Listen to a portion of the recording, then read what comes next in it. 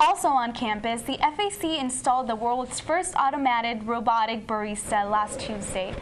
The invention was brought to the university by a new Austin co- company called Briggo LLC. Students can place their order on the touchscreen at the coffee kiosk online or on a smartphone after downloading the app. The customer can order ahead of time and will receive a text or email when their coffee is ready.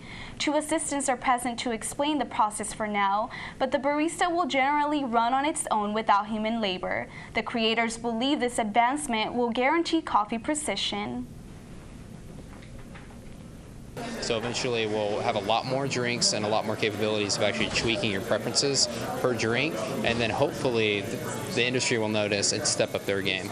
I hope people understand that this is our first one, and we're this alpha version 1.0. We may make, we may trip up here. I hope that you'll we'll learn with you. If we make a mistake here or there, I hope you're patient with us as we we're not some big company that's come in and done this. This is a startup, Austin.